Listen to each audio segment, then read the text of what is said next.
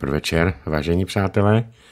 Jak jistě víte z našeho programu, dnes je výjimečný den, výjimečný pátek, protože Zdeněk Chytra nevysílá sám, vysílá tady se mnou ze studia Beta, protože spojil eh, zájezd do České republiky se s dovolenou, takže přijel autem, zdržel se a teprve teď jsem se dozvěděl, že doráží, takže chvilku vydržíme a on dorazí sem ke mně do studia.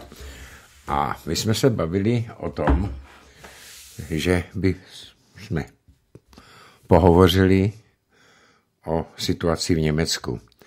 Ale vzhledem k tomu, co se vyvíjí tady u nás, tak já bych se se Zděnkem chtěl bavit o něčem trošku jiném. A věřím, že vám to nebude vadit. Chtěl bych se bavit o situaci tady u nás v České republice, jak to vidím já, jako člověk, který je u nás, a jak to vidí Zděnek zvenčí. V souvislosti s Evropskou unii. Víme o tom a bavíme se o tom, aspoň já se o tom bavím se všemi našimi hosty, že letošní volby budou opravdu výjimečné. Hrozí nám totiž velké nebezpečí ze strany Evropské unie a ze strany naší současné eh, politické scény. A z té Evropské unie nám hrozí maximální urychlení eh, takzvaného zeleného údělu. Ono to, jak už jsme se o tom tady bavili třeba s Ivanem Davidem, ale i s Jardou Baštou, eh, ono to vypadá všechno takový jako normální, ale není tomu tak. V podstatě zelený úděl znamená zničení, kom, kompletní zničení suverénních států Evropské unie. Co požadují? Požadují naprosté podvolení součástí tohoto nového zeleného údělu, naprosté podvolení právního řádu všech členských zemí pod kuratelu evropského práva, tak, tak jak si to oni vysvětlují, naprosté předání veškerých financí. To znamená, že eh, chtějí, aby rozhodovali o námi vybraných daních v České republice.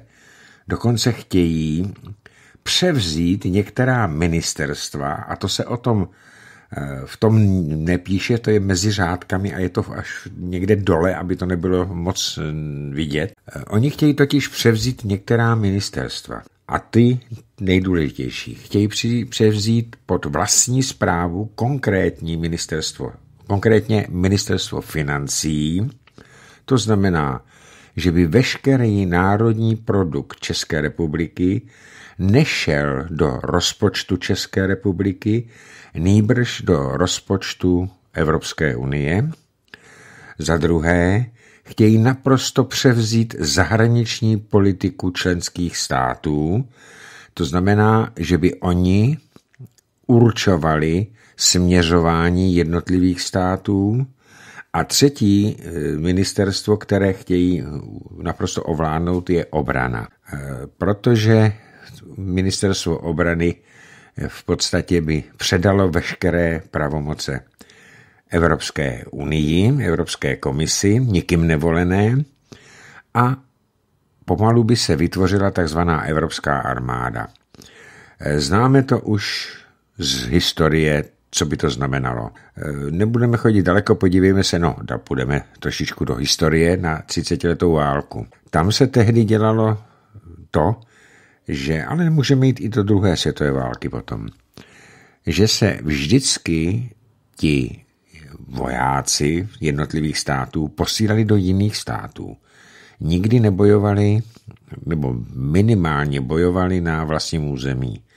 A to proto, aby náhodou ti vojáci nechtěli nebo odmítli drancovat a likvidovat místní obyvatelstvo, své rodáky příslušníky stejného státu a národa. Totež bylo za druhé světové války. Vzpomínáme, jak 600 tisíc slovenských vojáků eh, za slovenského štátu fašistického bylo posláno na východní frontu ale zjistili potom ty nacističtí vůdci, že Slovákům se proti Rusům moc bojovat nechce. A stávali se tam taky hodně často, že se přebíhalo dezerce. No a tak Slováky stáhli a poslali je do Itálie, poslali je někam jinam. A nebo je nechávali zajišťovat týl, ale neposílali je na frontu, kde by právě mohli utíkat. A z tohoto důvodu, prosím vás, chtějí evropští mocipáni, nikým nevolená Evropská komise, tak z tohoto důvodu chtějí vytvořit evropskou armádu. Je to v podstatě jakýsi pro, jakási protiváha na to. Eh, další věci musíme uvědomit. Tady vzniká a už delší dobu tady probíhá takový tichý boj mezi vlivem Spojených států na Evropu a Evropské unie. Spojené státy chtějí ovládat to takzvané trojmoří, to znamená od Baltu až po, až po mm, Baltu, Severní moře, po Černé moře a tak dále. Tak, už je tady Zdenek. A právě proto tady vzniká ta protiváha, ten, eh, ta evropská armáda, kterou prosazuje nejvíc. Eh, Zdenku, ahoj. Hmm. Ahoj, ahoj Vladimíre, zdravím posluchače, omlouvám se za pozdní příjezd. Bylo to vůbec poprvé, co jsem k tobě, Vladimíre, do studia přijel autem a sám. No. jsem to odřídil od devíti od rána, takže se omlouvám ještě jednou posluchačům a, a, a děkuji ti za zahájení toho vysílání. Já jsem teď začal hovořit o tom, co nás čeká od Evropské unie. Hmm. A říkal, mluvil jsem o tom, jenom to zopakuju pro tebe, posluchači to vědí, Mluvil jsem o tom, že tady vzniká mm, především na žádost prezidenta Macrona eh, Evropská armáda. Ano. A bylo to vidět už při těch akcích žlutých vest, kde na těch obrněných autech, která tam tedy nasadili jako armádu francouzskou, tak nebyly vlajky francouzské, ale byly tam vlajky Evropské ano. unie. A to byla jako předzvěst, vzniku evropské armády, která by měla konkurovat eh, armádám NATO, protože tady je, jak jsem říkal, skrytý boj o nadvládu Evropy. Ano.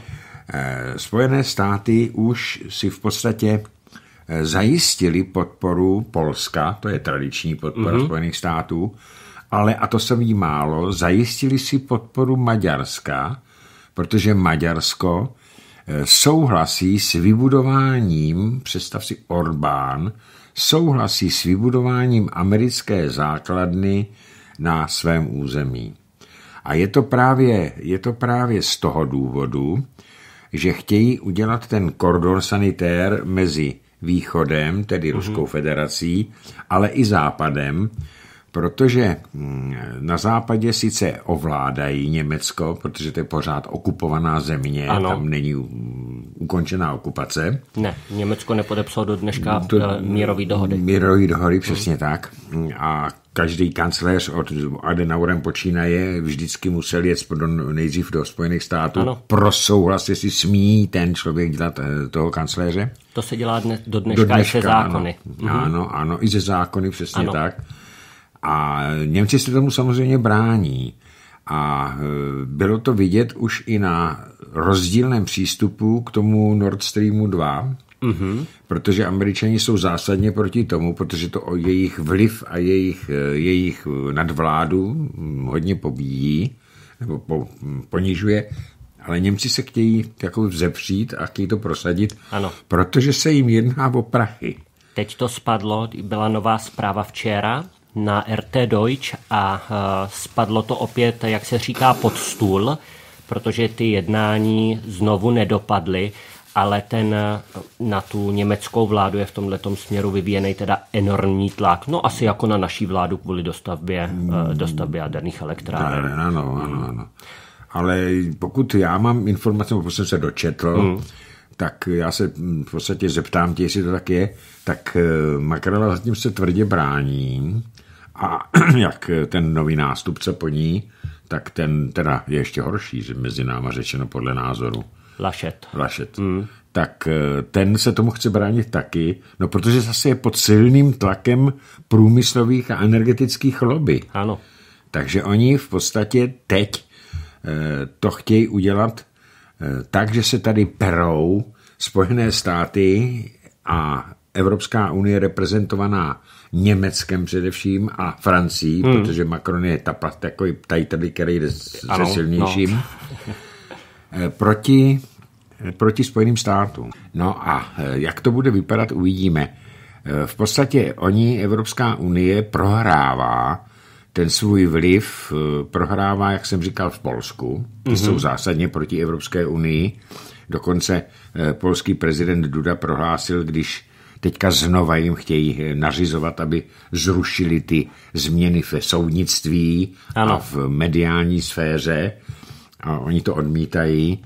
Eh, říkám, Maďarsko je také pro americké a proti unijní, protože no. to je v systému toho eh, hmm. trojmoří. Hmm. Pozor, on Orbán, on není proti unijní jako proti té Evropské unii, protože Orbán nebo Maďarsko, ono je na Evropské unii mnohem víc ekonomicky závislý než třeba my. A Orbán je pro unijní, ale on není pro to vedení, který tam teď je, pro ty, co to vlastně ničej a Orbán těžce vlastně eh, se zasazuje o to, ne přímo o vystoupení z Unie, ale o to, aby se ten projekt té Unie dostal tam, kde měl být. Jak byl ze začátku. Ano. Unie, to je, to je utopie. To je, to, to, o tom jsme se bavili minule, to je to samozřejmě je utopie. utopie. Já to vycházím z toho, protože jsem se bavil s Ivanem Davidem, mm-hmm. my jsme se k tomu nedostali v pořadu, ale když tady seděl, tak, no, protože vždycky jsou to přátelé, takže si tady přijedou dřív a povídáme ano. si. Eh, tak eh, je to vidět podle hlasování, podle hlasování europoslanců. Mm-hmm. A eh, europoslanci maďarští jsou napůl. V některých věcech jsou zásadně proti, v některých věcech jsou příznivci. A je to právě proto, že Orbán nechce, aby mu diktovali, jak mají žít. Ne. Za prvé. Za druhý, nechce to, co chce Evropská unie, já už jsem o tom hovořil, převzít ministerstva těch jednotlivých států, financí, protože chce daně dostávat přímo vybrané z členských zemí. To je ten nový úděl. Mm-hmm. E, přímo do Bruselu protože nemá peníze, ano. Evropská unie, chtějí obranu, protože to je podstatný, podstatné ministerstvo, a chtějí, chtějí vnitra. To znamená, že tady bychom, jo a navíc ještě bychom museli podle toho, co oni chtějí, naprosto se podřídit i ústavně, protože v současné době naše ústavní zákony jsou nadřazeny evropským zákonům. Ústavní zákony. Mm-hmm. A normální ne, my musíme podepisovat, ale oni chtějí právě změnit i tohle ten bod, aby byly naprosto zrušené ty státy a vzniknul ten superstát, protože nic jiného není v plánu. A tomu se ten Orbán brání. Ano. K tomu, k tomu směřujeme, protože všichni, všechny státy podepsali agendu 2030 pro udržitelný rozvoj. rozvoj Teďkon eh, schválili ten, eh, ten Green Deal, že jo? Eh, ty, ty úplně pomoc, tu takzvanou pomoc finanční na tu revitalizaci po covidu. Jo, tenhle ten šílený podvod já by osobně, být premiérem téhle země, tak ty peníze si nejenom, že nevezmu, ale, ale nepodepíšu. Ale nepodepíšu, nepodepíšu. Bohužel Babiš podepsal. Bohužel. A uh, v Německu spousta posluchačů to samozřejmě sledovala a sleduje, tak v Německu i ústavní soud uh, řekl, že to je protiústavní, protože uh, podle té smlouvy Evropské unie prostě nelze Eh, není možné, aby všechny členské eh, státy vlastně eh, vlastně, no, teď mi to vypadlo. No, když dluží peníze, ne, když jsou zadlužený, tak aby, aby za ně ručili, pardon. Tak, ručit, no, no, no, jo? tak to, to je, je zatím. protiústavní mm. a ústavní německý soud to několikrát takto rozhodl. I přesto, jak je vidět, prostě Bruselu je to jedno, jedno eh, ten, se, ten se tím neřídí a eh, dopadlo to, jak to dopadlo. Ty peníze neslouží k ničemu jinému a já to chci zdůraznit ty neslouží k ničemu jinému, než k zavedení takových procedur, takových procesů, eh, který povedou jenom k tomu, aby lidi chudli, k vyvlastňování jejich postupnému majetku a k, pardon, a k tomu, že v podstatě jim budou lidem brány jejich práva a svobody. Na to jsou ty peníze vyčleněny. Ono to je sice podepsan, napsaný, mm. my, tady se Uršula tady byla a nabízela mm-hmm. 180 miliard v průběhu let, ano. ale jako na obnovu proti po, po covidovou, mm-hmm. ale ani koruna nejde do průmyslu, nejde do terciální sféry, nejde do rozvoje e, ekonomiky. Všechny ty peníze jsou určeny na takové pofiderní Eh, pofiderní záležitosti, jako je digitalizace, mm-hmm. jako je, jako je eh, zvýšení dodržování lidských práv. Jo, na tyhle ty jo, ideologické nesmysly. nesmysly. Mm-hmm. Co to znamená všechno, Zdenku?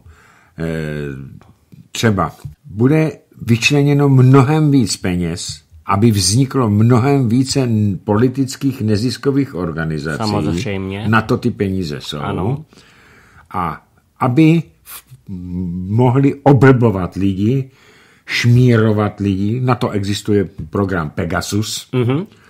a teda ten je vyvinutý ve Spojených státech, ano.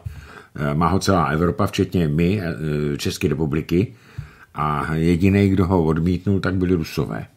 Je to, no. je to šmírovací eh, program, program, který tady hm. slyší to, co si tady povídáme, co si čteš třeba co připíšeme na SMS-kách a tak dále. Takže eh, na takovýhle věci, co to je digitalizace? No to je předsto, to se tak krásně řekne, ale je to prosím vás předstupeň ke zrušení hotovostní platby. Já, já jsem o tom chtěl mluvit, promiň, že tě přerušu. Já jsem to měl teď ve zprávách. Evropská centrální banka dala zelenou digitálnímu euru v příštích třech letech hmm Eh, se bude, ne pardon, v příštích pěti letech eh, se bude testovat, eh, jak digitální euro, jak ten projekt jakoby dopadne. Dva roky vlastně už byla nějaká předchozí testovací fáze s tím, že ale centrální, Evropská centrální banka řekla, ne, my jako tady hotovost určitě ponecháme, my, my nebudeme jako rušit hotovost a tak. Ale ona ta hotovost, i když ji nezruší Vladimíre, ona bude stejně úplně k ničemu. Protože už teďkon eh, Evropská centrální banka samozřejmě eh, společně s těma různýma bankama, co máme my, Němci a tak dále, tak eh, už uh, vlastně utahují to množství peněz, který si člověk může v hotovosti vybrat. Teď to chtějí udělat maximálně na 10 tisíc euro. Jo. Takže t- oni tu hotovost uh, v podstatě zabijou. Když se to tak řekne, už to jo? platí několik let tady ten zákon, že smíš hm, platit do určitý částky snad 300-400 tisíc, mm-hmm. ale nebo do 200, já teďka nevím do jakou částku, ale vím, když si lidi jdou kupovat auto, takže, a mají peníze v hotovosti, no tak, a nemají třeba účty, jo, myslím bankovní, ano. tak si ho musí založit, mm-hmm. protože to auto třeba za 500 tisíc si nesmějí koupit za hotový, mm-hmm. ale musí to rozdělit. A to je první krok. Druhý krok je, teď nedávno oznámila Česká národní banka, že bude stahovat peníze od stovky do dvou tisícovky, nehodné jedná se zatím o pěti tisícovky, co jsem se dočetl, eh, které byly vyrobeny v letech 92 až 96. Ty s tím úzkým proužkem. Ty s tím úzkým hmm. proužkem. ty budou stahovány postupně během letošního roku a potom si ještě jeden rok budou moci lidi vyměnit na, na, na, na spořitelnách a různé, různých institucí k tomu určených mm-hmm. a budou, vyrá, budou dodávány do, do oběhu bankovky s tím širokým pruhem, eh, údajně na to, aby byly lépe zabezpečeny proti padělání. Mm-hmm.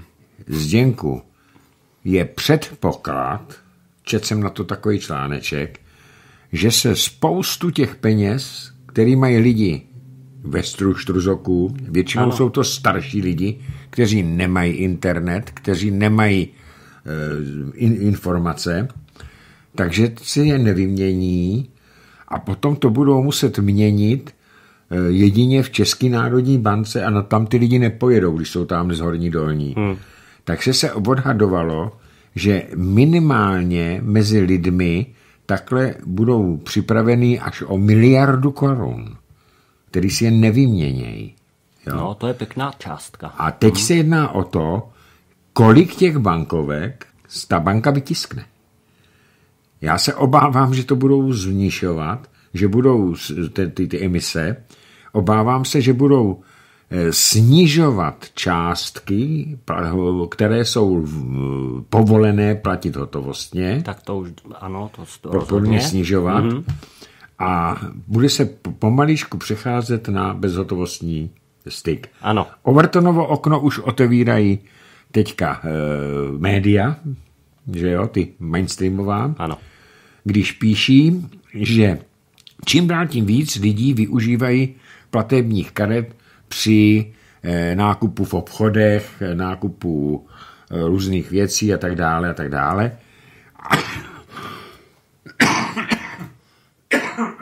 Pardon, a tím míň platí v hotovosti. To je to Overtonový okno.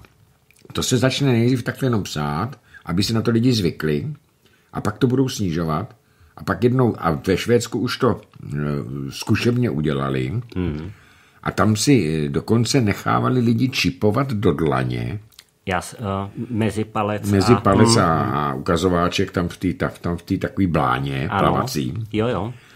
A jak promiň, promiň, ale teď je to tak půl roku dozadu na tenhle ten čip no. běžela normálně i reklama jako v, eh, na tom, na německých mainstreamových no. televizích, jo, to jako, mm-hmm. v, ono je to v tom rámci toho smart home, Oni totiž lidi si myslejí, že když mají teda ty chytrý domy, který jim sami, eh, když jim řeknou zatop, tak on mu pustí to topení a když mu řekne rozsvěť a zhasně a tak. Ale oni si ty lidi vůbec neuvědomují, že všechny ty data, které oni vlastně tím svým hlasem zadají těm eh, přístrojům, tak se schromažďují. Samozřejmě, že se analyzují. No a kdo, kdo potom eh, z toho profituje? No přece eh, například ty dodavatelé energií, Aha. oni řeknou, aha, tak vy topíte jenom tady od, nebo většina lidí topí jenom mezi 20. a 22. hodinou, no tak my jim napaříme cenu třikrát takovou, no. jenom tady na to, jenom tady na tu dobu. A takhle se to dělá. No jistě. Jo? Ano, K tomu ano, to slouží. Ano. Mimo jiné teda. Takže tohle to všechno, oni nás tady hmm. na nás připravujou a e, bohužel Eh, Andrej Babiš to podepsal. Hmm. A teďka jsme se taky eh, zamýšleli, eh, protože čím dál tím víc rozumných lidí říká je pryč. Ale Zděnku, ty se podívej, v Německu přitahují šrouby taky. Ty jsi tady kdysi ano. prohlásil rádiu, když jsme měli spolu ty pořady, mm-hmm že Němci jsou potichu, nechají se na sobě štípat dříví, ano. dokud se jim nešahne na peníze. Ano. Teď se jim šahá na peníze. No, no to ještě není teď tak znatelný, Začíná ale to. pozor, ono to krásně bylo vidět právě když, eh, no, já nevím, před půl rokem vylítly ty šílené preference těm zeleným, Grünen, a najednou se v médiích začali vlast, začalo mluvit o těchto těch jejich ekologických plánech jo, o vyvlastňování, o zrušení těch eh, národních letů. Mimochodem Macron teď eh, to dal pod zákon, jo, že se tam, eh, že už nebudou, nebude se lítat. jako vnitrostátně. vnitrostátně. Takže to je novinka. Nicméně, jak se o, tě, o tom začalo mluvit, a začalo se mluvit hlavně o tom, že Němcům se bude zdražovat a šahat nejenom do peněženek, ale šahat se jim i vlastně na celkově na jejich tu životní úroveň, úroveň. Ale, i na, ale i na úspory. Ano, na všechno, na všechno. Tak, tak najednou začali zelený prudce klesat. Oni měli, já nevím kolik, přes, přes 30%. Přes 30 ano, a teď už jsou na nějakých 18. Jo. Samozřejmě vylítla eh, zpátky eh, CDU, CSU a posílila SPD, pardon, teď se... Eh, to jsou sociální demokrati. Sociální demokrati němečtí. Já to vždycky zdůraznuju. Jo, ano, sociální, sociální demokratická partaj. Tak, přesně. Takže těm se vlastně vrátila většina těch voličů, který se přelili do té strany zelených. No a přesně to, co prosazuje strana zelených v Německu a všude v Evropě, hmm. tak přesně to prosazují piráti, protože ano. naši piráti jsou jenom zakuklení zelení. Ano. Tady si zelení eh, pošramotili, no já bych řekl, kdyby bylo po desáté hodině úplně jiný slovo. Eh, naprosto odepsali se mm, a zničili si pověst eh, tím debilním ministrem Bursíkem a hlavně takovými exoty, jako byla Kateřina Jau Jau. Jau, jau. Žak. A i Matěj Stropnický si jste tam při, při tom přidal. Teď jsem čet, že on snad přestoupil k ČSSD, vrací se do politiky. No on se snaží no. vracet do politiky, je to naprosto pro mě, ale hele, může, může se snažit, lidi to vědí, co ano. je zač. Ale Piráti právě proto vznikli Piráti, nejenom u nás, ale v Evropě, uh-huh. aby se e, zakamuflovali ty zelení. Ano. Takže Piráti mají naprosto stejný, eh, mají sdílení aut, ano. mají v programu sdílení bytů. Sdílení všeho v podstatě. V podstatě hmm. všeho. To, to znamená zrušení a zničení soukromého vlastnictví. Ano. Já jsem to nazval, když jsme se tady bavili, já teďka nevím s kým, myslím, že s Martinem Kolerem, a on je nazýval neomarxisty a ultralevičáky, já jsem s ním nesouhlasil a říkám, já tomu říkám, že oni jsou maoisté. Ma- a to je zajímavý. Já jsem se s tímhle s tím totiž to setkal už i v Německu. Ano. Tak já jsem to neslyšel v Německu, já, neslyšel ano. jsem to nikde tady a já už to říkal před časem. Hmm. A řeknu to? ti proč. Hmm. Teď je to přeci úplně jedno. Eh, každý, kdo zná, se zabývá se politikou, ano tak ví, co dělal uh, velká let, kulturní revoluce, velký skok ku předu nebo ano. před uh, Mao Tse-tung. Ano. Přesně toto. Sdílení bytů, se stěhoval násilně ty lidi, hmm. sdílení pracoviště. To znamená, že oni řekli, tento segment bytových domů bude pracovat v téhle továrně mm-hmm. a jestliže ty lidi nemají tu profesi, tak se ji naučí, jinak se jinak cípnou hlady. Mm-hmm. E, za prvé, za druhý, e, zrušili se veškerý e, soukromí vlastnictví nemovitostí, e, dopravních prostředků, e, ale i knih, protože se jenom určitý knihy hm, od Mao Tse-tunga většinou se ponechali a Eh, museli se pálit knihy jako ve středověku nebo za nacismu eh, i Konfucia. Mm-hmm. To je, to je filozof čínský, který ho cituje celý svět, 2000 a 2,5 tisíce let, ty se pálily ty knihy. A to tež, snad ještě nechtějí pálit knihy, ale co zase chtějí dělat? No kontrolu e, internetu. Tak samozřejmě. A všimni si, před deseti lety měli Piráti, neuspěli, ale měli, když vznikli takový hlavní moto, eh, svob, naprostá svoboda v internetu, ano. bez jakékoliv cenzury. Dokonce říkali, že jestliže tam eh, je dětská pornografie, takže to je vina dětí, který to tam nechávají natočit a neměli by se trestat lidi, kteří si to stahují, protože ty nic neudělali. No. Jo, naprostá svoboda. No teď už to nemají vůbec. No, no, no protože prosazují pravej opak. Hmm. Jo, takže ty, ty piráti u nás jsou v podstatě ty zelený v Německu. Úplně. My jsme srovnávali společně ty jejich programy a oni mají úplně stejný, stejný. nebo totožný v podstatě Aha. Eh, ty, ty programové body. Euro. Němci teda tam nemají, že ho mají, ale Piráti mají euro, to znamená stejně jako koalice spolu, ano. která má taky přijetí eura. Co by to znamenalo? Znalo by, znamenalo by to pro nás o 20% zdražení všechno, všeho, protože když se v západních státech přijalo euro, konkrétně v Německu vyletly ceny o 20% taky. Ano. Všude. Takže to by to by znamenalo. A zase, víš, kolik peněz by se z české koruny, kolik by se znehodnotilo? Přijetí eura je vážení měna, která byla v 53. roce. Mm-hmm. To je totéž. Mm-hmm.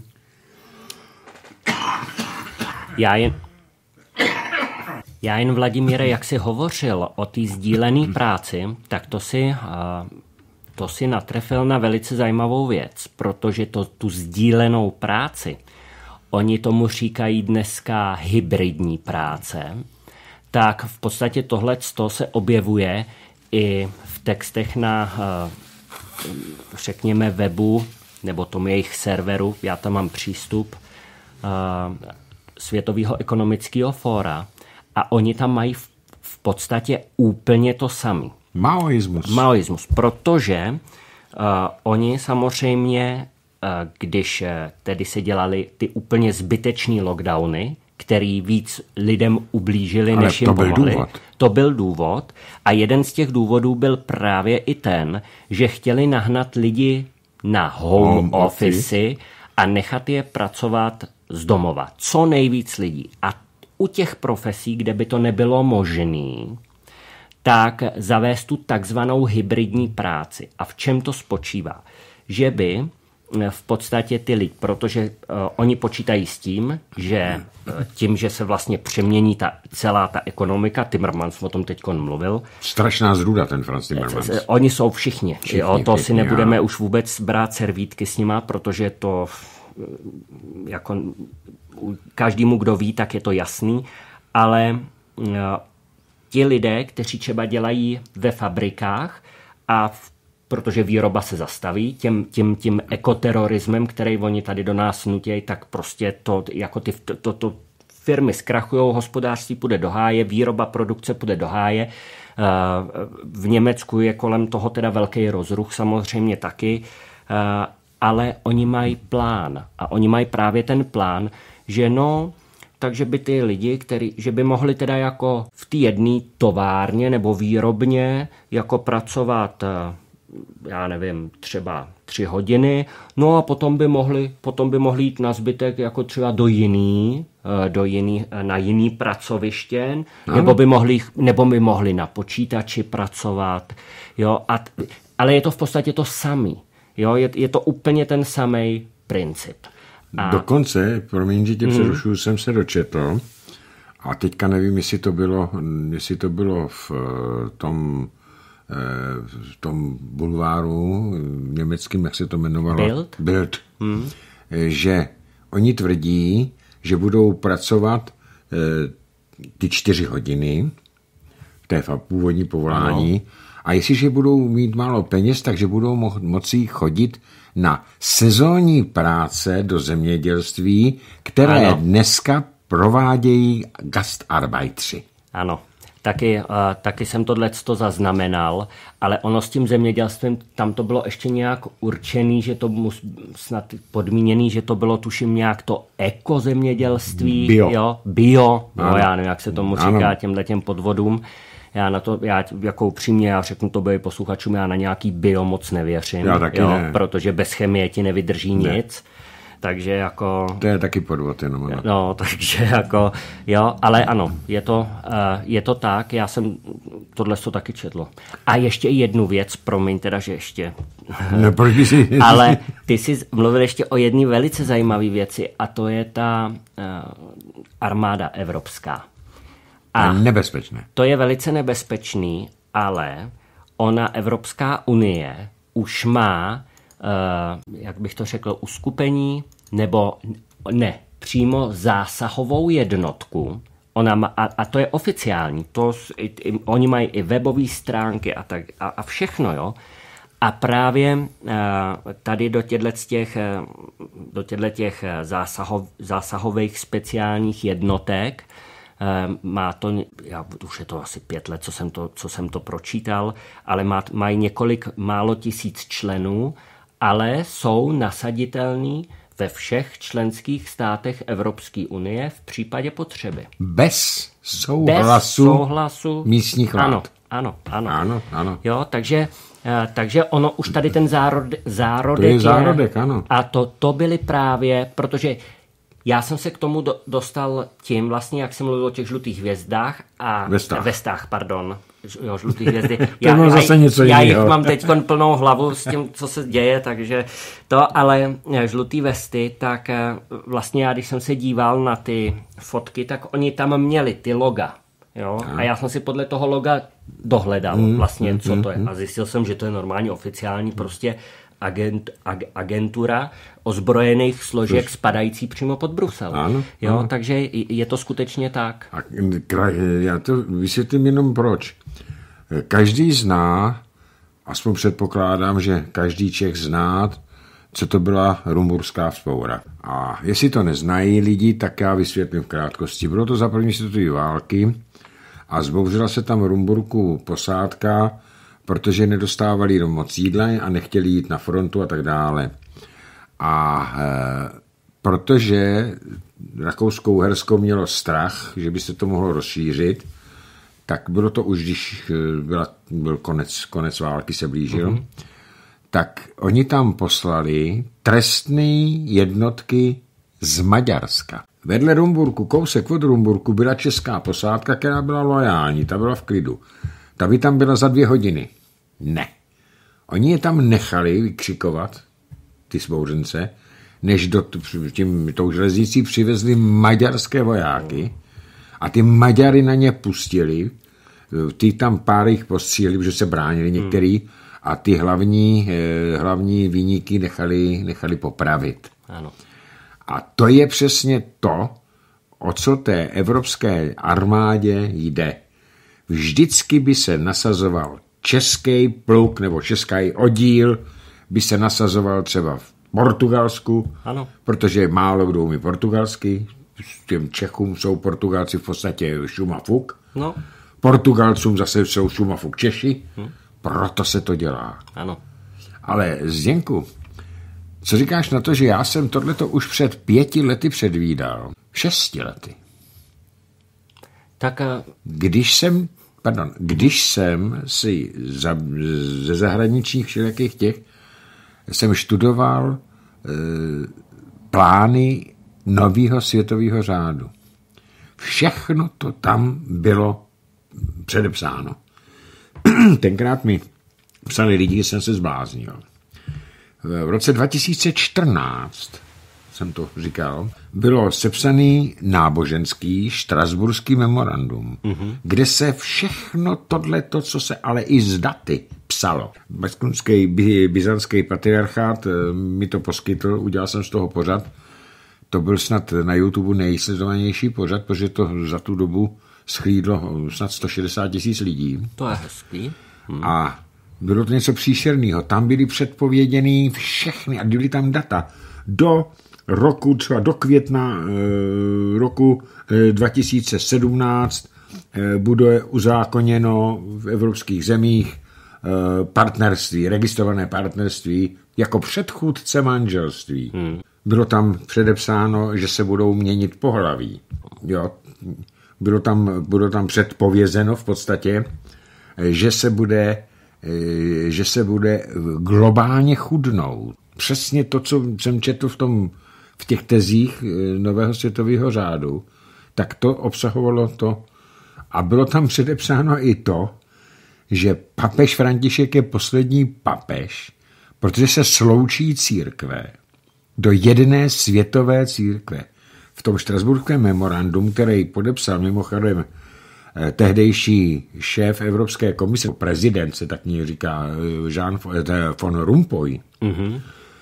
podepsal to podepsal to v zastoupení papež František a ku podivu to podepsal v zastoupení nějakého svého velkého, vysokého náměstka my patriarcha Kiril. Mm-hmm. Moskevský patriarch. Jo, to znamená, a to tam, to, to, to bylo v roce 2014, 2015 jsem to čet. To tež se tady všechno děje. Globální chudnutí. Teď jsem čet, to si určitě víš, jak chtějí dát šílený daně na spotřební daně na pohony hmoty. Ano. Že by měla na naše peníze stát litr eh, benzínu a nafty stovku. Mm-hmm. Tím, že se omezí uh, ničení klimatu. Jo. A teďka to u vás v Německu rozvířili tohleto, tu daň, ti zelení, díky těm povodním ano. a naši šílenci pirátský díky tomu tornádu. Hmm. No, to jim, uh, to jim dobře uh, v uvozovkách nahrálo do karet, To ale... příroda, že jo? Ano, ale jako ono, oni, ano, je, je, ty katas, tyhle ty přírodní jevy se prostě objevují. A já, například eh, v tom, tuším, že v Bavorsku to teďkon, eh, eh, teďkon to zasáhlo Bavorsko, Sasko to zasáhlo, ale já jsem mluvil s jedním Němcem a on říká, oni jsou úplně pitomí, vždyť tohleto, to tam měli před sedmi lety, to tam měli před 20 lety, prostě pořád to tam, Když pořád byl se to pod tam... vodou Hamburg asi v 76. roce, Ano, totálně. Ano, Teď si to pamatuju ještě. jo? No jistě. No, jo, takže prostě takovýhle jevy se dějou, jo. A tohle, to, tohle to vymejvání mozku, to je eh, prostě... Mimochodem o tornádu se psalo už eh, v jedné staré české kronice, bylo to psané teda latinsky, a eh, že okolo roku, okolo roku 970, 975, si to přesně nepamatuju, eh, byla zničena, byly zničeny několika vesnice božím prstem. Mm-hmm. A bylo to proto, že Bůh už se nemohl dívat na, na vládnutí Boleslava Ukrutného. A opravdu on potom e, za nějaký rok, dva zemřel. Mm-hmm. Ale to bylo tornádo. Boží prst. Mm. Jo. A, takže ty tady byly, ale ne tak četný. Že jo? No, tak samozřejmě. Tak já nevím, za posledních t- 50 let tady takovýhle tornádo nebylo. Jo. Hmm. Takže Jinak já k těm záplavám ještě v Německu jednu takovou zajímavost. Teď jsem zrovna včera četl jeden takový článek, zase mainstream, uh, napsal, myslím, že Die Welt nebo Focus, eh, jeden z těchto z těch to byl, uh, článek o tom, že nenaleďte, nenaleďte pravicovým extremistům, uh, chtějí vás podvést, když žádají o příspěvky nebo o eh, ty eh, dary jako pro ty Humanitární. pro ty humanitární pomoc. Jo, no, článek, to by, to, to by opravdu jeden, a teď s prominutím zvracel. Jo. Tam jsou vyjmenovaný různé osobnosti, že jo, samozřejmě do toho dali i AFD a, a prostě tak.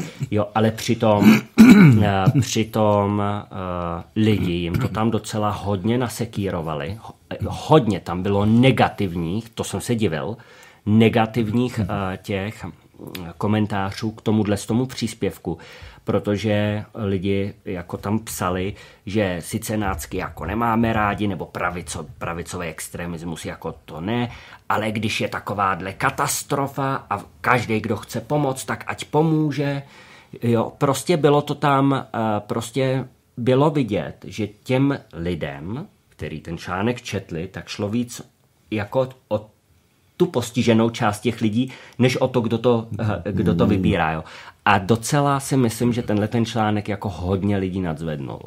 No, ale prostě to jsou média, bohužel. No já jsem dneska četl a viděl fotky, takový video, jak se tam jedna mladá redaktorka, která natáčela video v těch postižených oblastech a netušila, že ji natáčejí lidi na mobily. Tak ona tam šla, umazala se od bahna, jo, a teď vzala ten mikrofon, zabírala jí kamera a ona tam dramatickým hlasem říkala, jak musí, jak pomáhala těm lidem a tohleto. Jo, jo. No a ty lidi, kteří natáčeli, na ty, tak to dali na, na Facebook někam nebo na nějaký sítě, já nevím, jaký jsou populární sítě.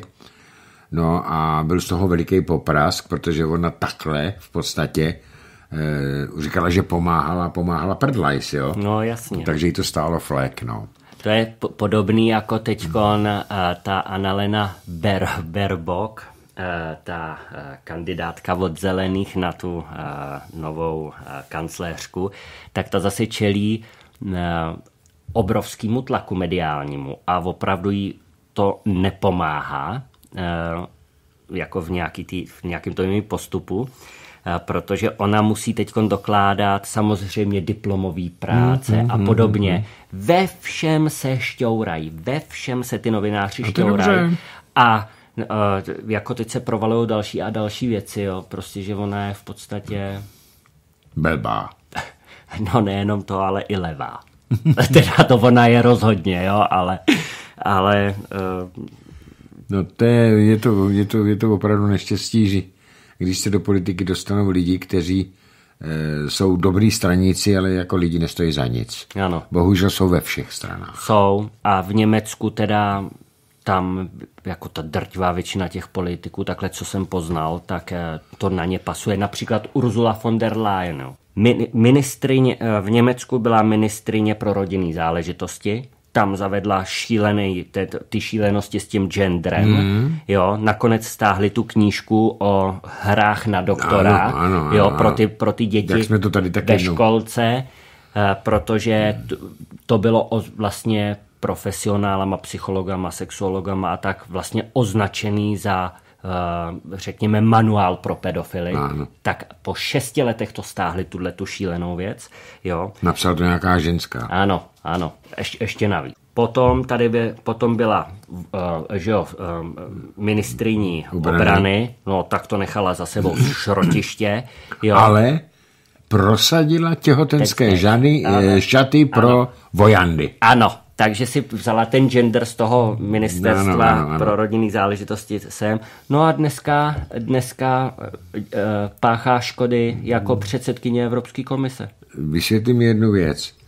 Ona tady, my jsme se o tom včera bavili s Tomiem Okamurou a ten se bude snažit sehnat, splašit 40 podpisů na mimořádnou schůzi, i když jsou sněmovny, i když jsou parlamentní mm-hmm. prázdniny.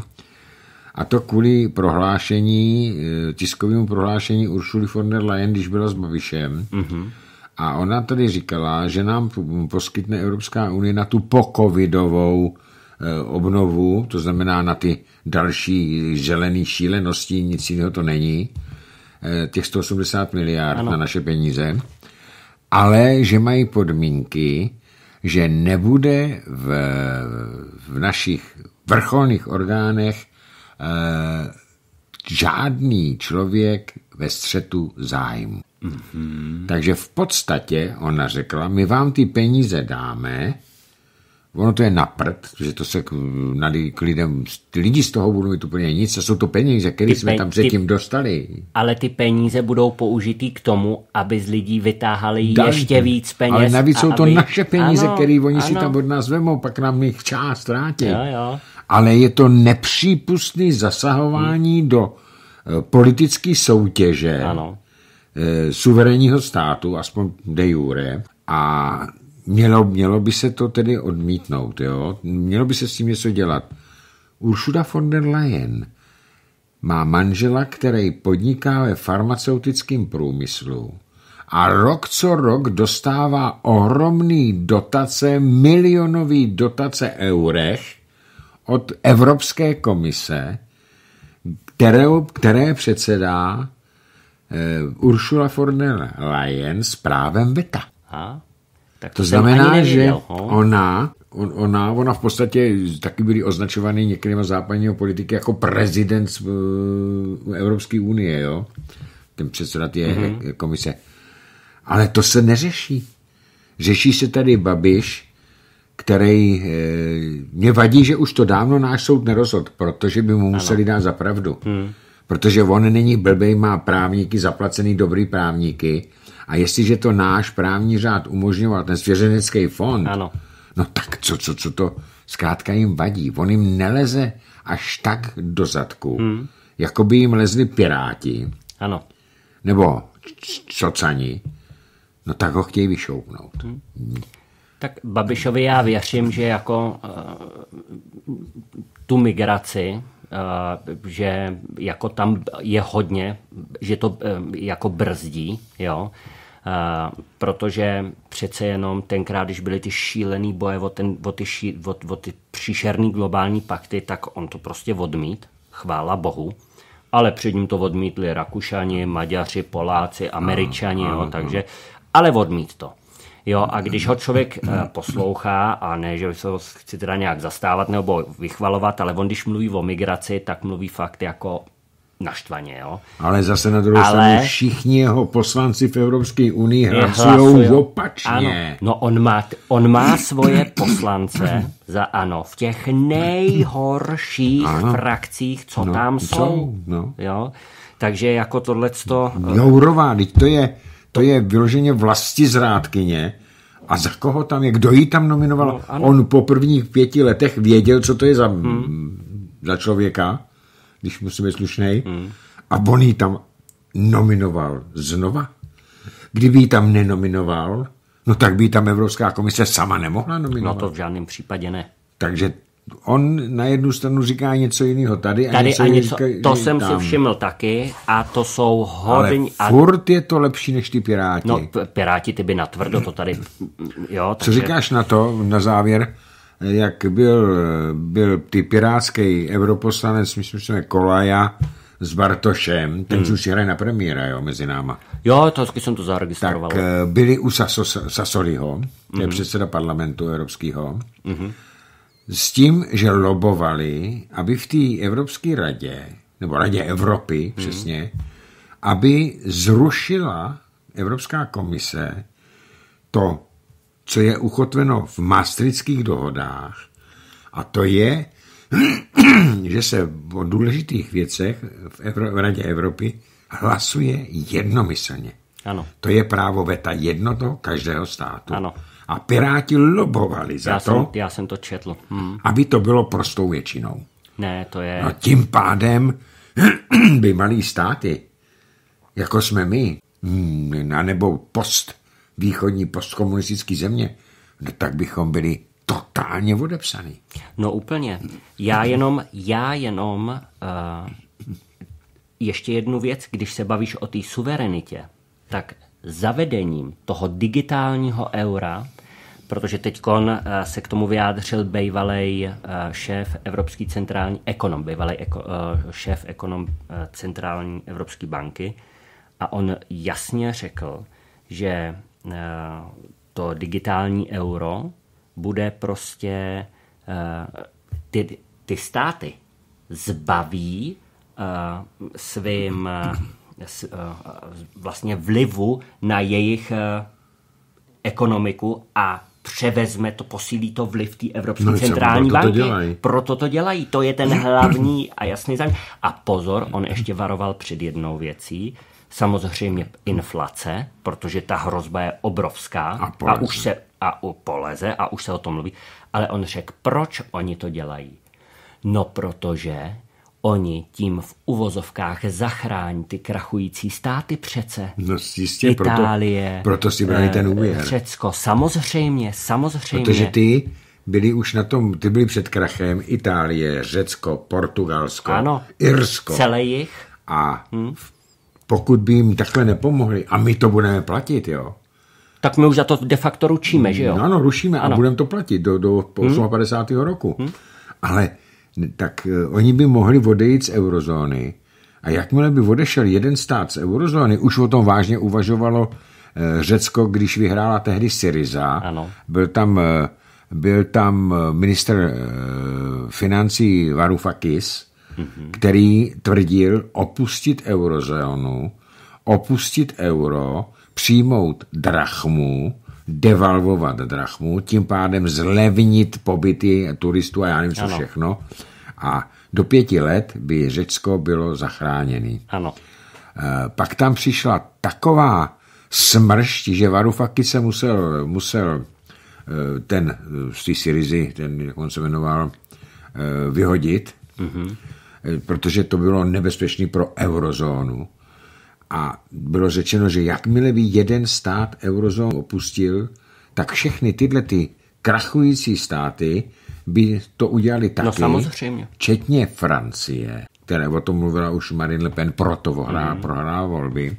Mm-hmm. No a tím pádem by šla do kopru celá Evropská unie. Jo. Ta, a ještě poslední věc, Zdenku. Mm-hmm. Proč si myslíš, že oni eh, prosazují digitální měnu? No tak ten důvod jsme, vlastně my jsme to řekli, digitální měna je zbavení nebo minimálně obrovský omezení nebo zbavení svobody lidí, to je jasný, protože tištěný peníze je tištěná svoboda. O tom jako žádná. A pozor, druhá velice důležitá věc, zavedení sociálních kreditů. To je ten hlavní důvod a ta hlavní v úvozovkách výhoda digitální, digitální měny. Digitální Nejdůležitější eura. důvod hmm. digitální měny je v podstatě zvýšení oběživa ve světě no tak to. pro, na naprosto neomezenou míru, protože nemusíš tisknout peníze, ano. jenom připisuješ nuly. nuly. Mm-hmm. To znamená... Tak to už dělají dneska. Že jistě, samozřejmě, ale tímhle tím digitálem mm. by v podstatě přestaly být ty peníze krytý jakkoliv. No. To by přestalo, to by byla hodnota jenom, jak se ty státy dohodnou, že ta hodnota bude. bude ano. Ale žádný ten, mm, žádná skutečná hodnota by tam nebyla. A to je to nejhorší. Mm-hmm. Protože tím pádem se přesunují peníze jenom digitálně, mm-hmm. jo, ne, nejsou. A jestliže tady potřebují nějakému státu šoupnout 50 miliard, no tak to Maria počítač jo. to snese. No jasně, jo, Ale kdyby to měli všechno. dávat ve zlaťákách hmm. dřív, když byl zlatý hmm. standard, jo, no tak ty peníze by nebyly. No to v žádném případě. Kdyby nebylo digitalizace, tak by ne- neexistovalo skoro žádná banka. Všechny banky světa mají jenom malý procento hotových peněz jako jistinu. Ano. A řekl bych, že 90% to, toho objemu jsou, jsou jenom virtuální peníze. A oni to musí tu virtualitu dostat do těch lidí, aby ty lidi platili a v podstatě ono, když vydáhneš z peněženky a platíš tadyhle eh, pětistovkou, tisícovkou, no tak sakra ty peníze, máme to zažitý. Šustěj. Tak, ale když tam dáš kartu, ono to dělá píp, a? No, napišeš nějaký pin a vidí to jedno. No, no jasně. Jo, to je taky to. Já ještě jenom, jestli mu, mi dovolíš, tak poslední poznámku. Já jsem teď koukal na uh, bankovní účty, nebo na takhle, na bankovní uh, nabídky bank různých, na bankovní, otevření si bankovního účtu. Je spousta nových bank, teď se bavím třeba o těch německých, je spousta nových bank, který dělají všecko jenom online, nemají pobočky, hmm. ale mají partnerské banky, kde teda aspoň do jedné té partnerské banky si člověk může zajít. Jo? Mm-hmm. Um, a představ si, že já jsem si stáhnul jeden z těch uh, jejich, uh, no, jak mají ty uh, jejich pravidla napsaný, ne? A tam opravdu stojí, že každý, kdo si uloží peníze na jejich účet, tak se mu automaticky převádějí na elektronickou měnu. Ukradnou je.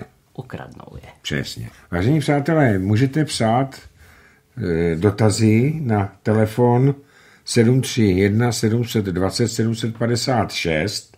E, telefon je tady připravený. No a po čtvrt na devět můžete i volat e, na otázky to. nám obou přímo do studia na ten týž telefon. Takže my si teďka dáme 4 hodinky přestávku a potom se zase budeme těšit na slyšenou. Tak máme po přestávce.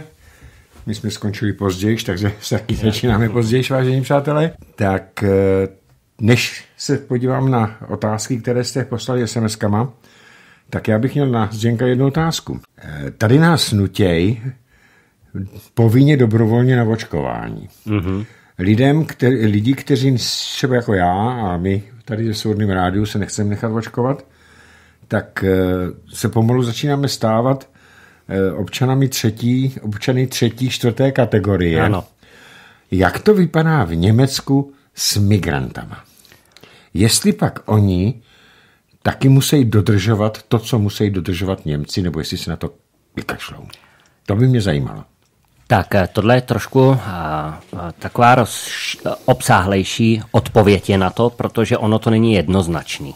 Uh, tam, kde jsou gheta, já to budu říkat tak, jak to je, tak uh, tam samozřejmě na to na nějaký tyhle opatření kašlou. Oni to jakože mají, oni byli vyčúraný. Oni si třeba v Neukölln, v té berlínské muslimské části, tak tam je jedno testovací centrum vedle druhého. Oni si okamžitě na tom udělali biznis. To oni... Sami imigranti. Ano, oni jsou na tohleto jako, to jak jde o prachy, tak oni jsou eh, teda jako rychlí, jo, to zase se jim musí nechat. Ale eh, co se týče, eh, co se týče toho dodržování, tak jako ty to tam nějak... Oni ani, když byla ta jakože pandemie, tak eh, prostě v těchto těch lokalitách člověk, když byl, tak to byly jediné lokality, kde byl život. Hmm, jo? Hmm. Takže, roušky? Takže tak některý je nosej, a, ale říkám, v těchto z těch lokalitách většinou prostě jako na to, na to kašlou. Hmm, jo? Hmm, hmm a to, zase tohle to, vím, že se to možná to vyzní blbě, jo, ale mně to je na nich sympatický, že prostě oni se na to v podstatě úplně vyflákli. No, protože oni na rozdíl od Němců nebo u nás, Čechů, hmm. jsou beztrestní. To, je, to, hraje, ve, to hraje velkou roli. To hraje, bych řekl, tu nejzásadnější. Ano. Oni jsou že jo, chra, chráněná skupina. Ano takže tam e, jako se jim to neto. Ale potom je tady taková ta další část, která je, řekněme, rozmělněná.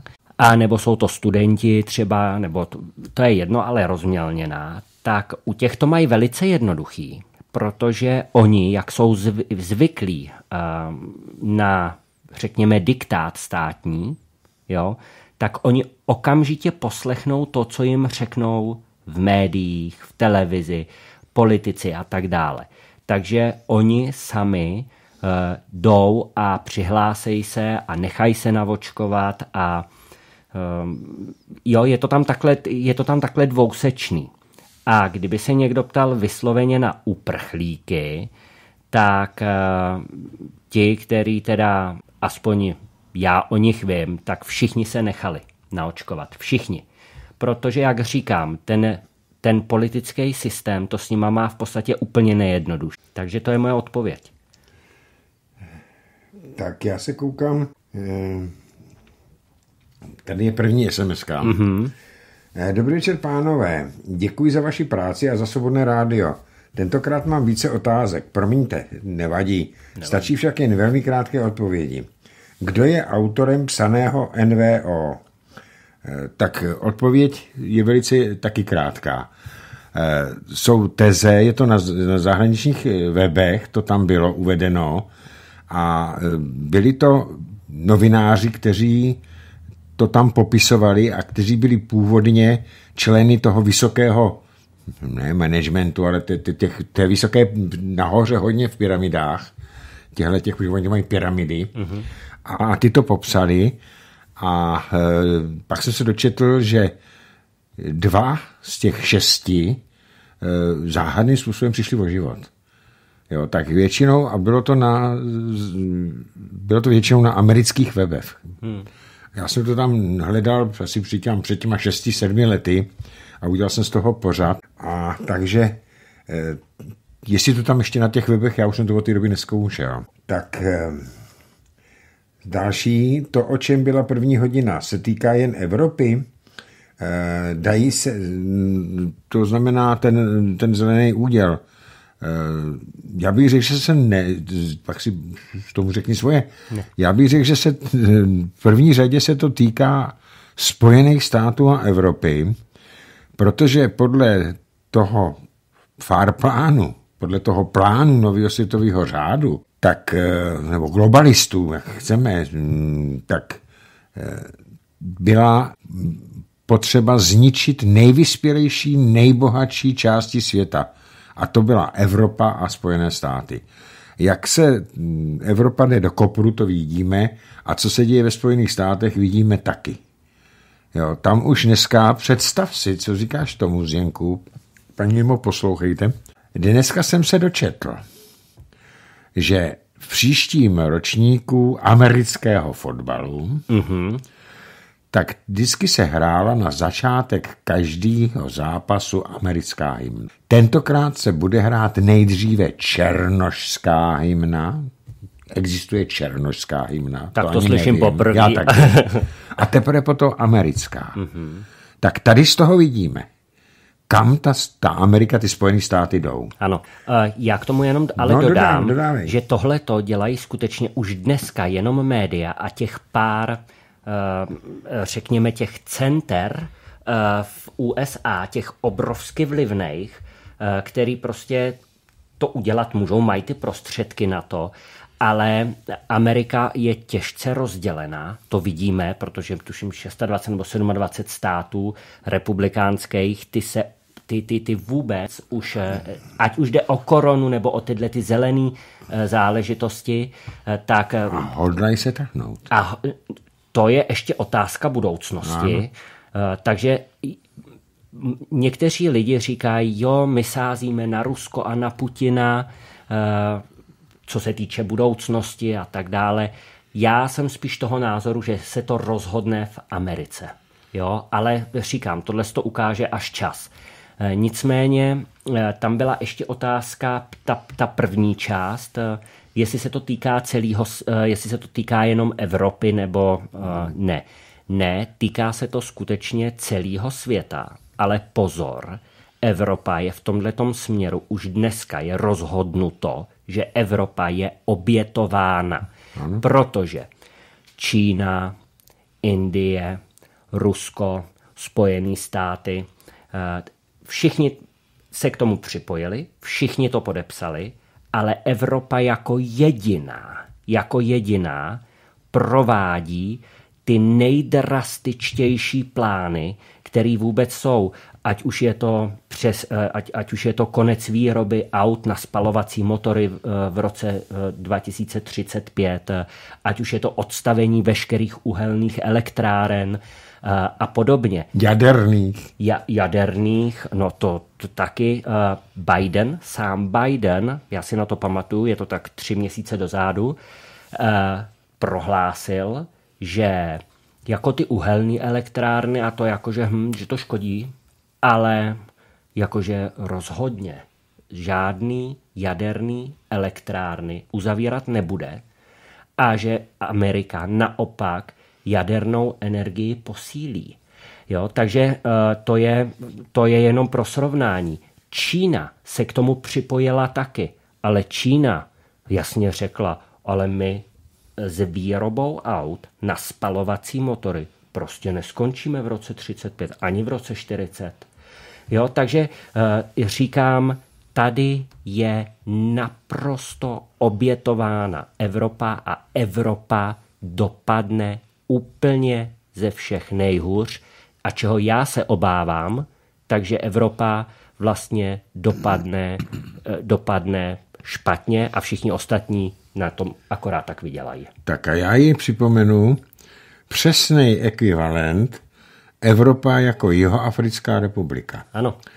Eh, před 30 eh, lety byla Jihoafrická republika nejbohatší stát Eh, afrického kontinentu a jeden z nejbohatších států světa.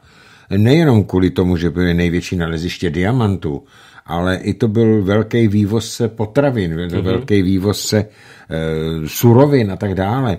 Protože tam eh, vládli, pracovali tam a řídili to Běloši. E, jakmile pustili Mandelu a vyhrál tam Nelson Mandela a stal se prezidentem, tak se to úplně otočilo Dokonce, je to asi dva roky, jsem viděl video z jihoafrického parlamentu, kde vystoupil takový poslanec, samozřejmě černý, nikdy jiný tam už nebyl, ale ten poslanec vypadal tak, že kdybych ho viděl večer, tak eh, by mu nohy na ramena. To bylo strašný, strašný stvoření. A on tam pro, pro, pronesl věc,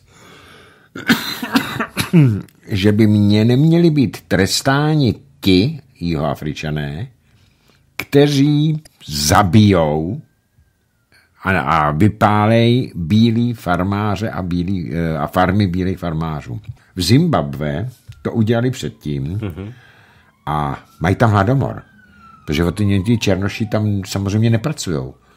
A prezident Zimbabwe prosil bílí farmáře, že jim zaručí výdělky, že jim zaručí bezpečnost, ať se vrátí.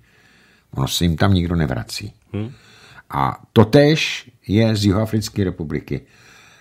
Johannesburg se stal městem s nejhorší a největší kriminalitou na celém světě. Je tam největší frekvence vražd hmm. a počet, takže v podstatě o tamtud se i černí slušní lidi odstěhovávají pryč. Hmm. A takhle dopadne Evropa. Ano. Tak. Já jenom k tomu doplním, že eh, Ursula von der Leyen sama nedávno prohlásila, že Evropská unie, že chce z Evropské unie udělat lídra vlastně těch eh, ekologických projektů a té neutrality, CO neutrality. Jo, takže to je, to, tam je to prostě evidentní ten záměr. Já tady příští týden budu mít přírodovědce Martina Konvičku a budu se ptát na to, protože už jsme se na to narazili, už, jsem o tom, už o tom hovořil Jarda Bašta tady, mm-hmm.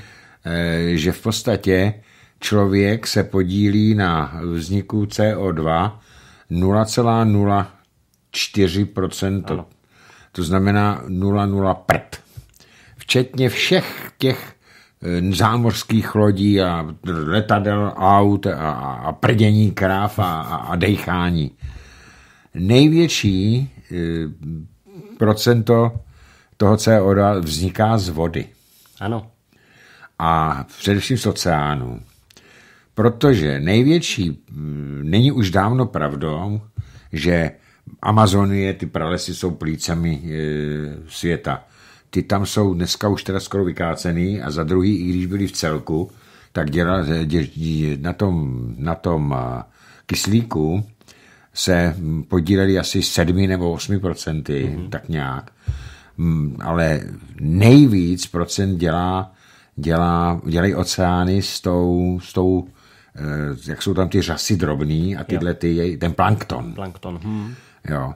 A eh, taky z té vody tam vzniká potom nej, večer nejvíc toho CO2. Je to jenom humbuk. To. Nic jiného než humbuk a je to plán na zničení Evropy. A bohužel Evropani jsou stádo.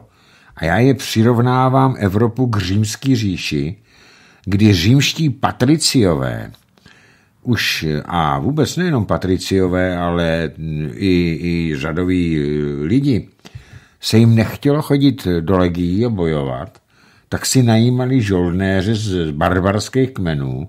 No samozřejmě ty proti barbarům moc nebojovali.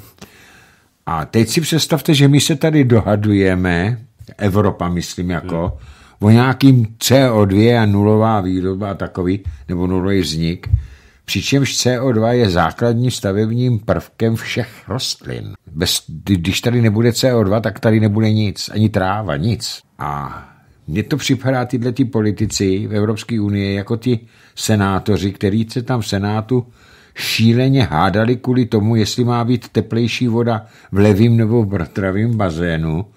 A na kraji, eh, na kraji Fora Romána už tam na ně utíkali ozbrojení barbaři. A my jsme to tež. My se tady, eh, nás tady buzerujou kvůli ekologii, naprosto zbytečný. A mezi tím nás tady požírá islám. Takže to je, to je k tomu. Další otázka. Dají se šmírovat také například hovory doma? Tak šmírovat se dá úplně všechno dneska už, samozřejmě. Já jsem tady hovořil hmm. o tom programu Pegasus hmm. A ten, ten, ten pro, program dokáže i vypnutý telefon zapnout a proto taky v těch nových telefonech jsou nevyjímatelné baterky. Mm-hmm. Vypnete ho, ale ono si to zapne a slyší to všechno, co si tam povídáte. Takže když byste nechtěli být smírovaný, tak záleží na tom, koho smírujou, že obyčejní lidi ne, tak eh, jedině ten telefon dát někam úplně pryč a pak si povídat. Tak, máme tady první telefonát, já ho vemu. Dobrý večer. Dobrý večer, panové, tady je Bohdan ze Slezska. Zdravím. Mám, po, po, po, po jsem se dovolal tento týden celý ten mám prací tady jako vždycky večer, vždycky tak sedeme tak, tak perfektní. A jste skvělý, říkám, to je na, na, sta, zkušený matador a nastupující potěr. Zde nějaký trap, perfektně vám to jako vždycky ladí. A, ale, a včera jsme to, včera jsme, tak jsme to tak vyhodnocovali, tak jsme říkali, bo letos vlastně za rok strážil benzín o 10 korun. No, a jestli, jestli ty volby dopadnou špatně, což může se stát, asi, asi se to stane, ale jako přejeme si, že ne, aby ne, ale když budou, tam bude ten tak příští rok jsme to odhalovali, že jak se říká už něk, něk, některých těch serverech zahraničích, že na naše už by to vycházelo příští rok benzín až 890 korun koncem roku. No. Jo, příští mm. rok. A pak si ti lidé, tak pak si ti lidé vzpomenou, aha, a něco je špatně. Že opak, jak jste říkali, už druhá, jak to říká Jirka Kovza, druhá šance nebude. Jestli si to tež lidé v Německu tak uvědomují, a to zdražení tam už tež přichází, se chtěl Zenka zeptat.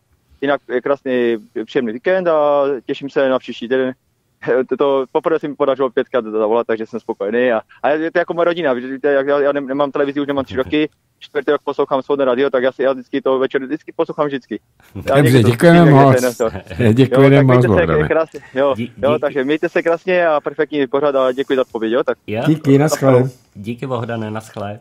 Tak povídej. Tak eh, v Německu se taky zdražuje benzín. Eh, tam, tam nevím, jestli tady o 10 korun, tak tam to bylo o něco víc, ale uh, taky tam vyhrožujou, nebo vyhrožujou, tam už to řekli jasně, že se zdraží benzín, že se samozřejmě zdraží uh, ten topnej, uh, topný Topný. oleje a uh, plyn. Jo?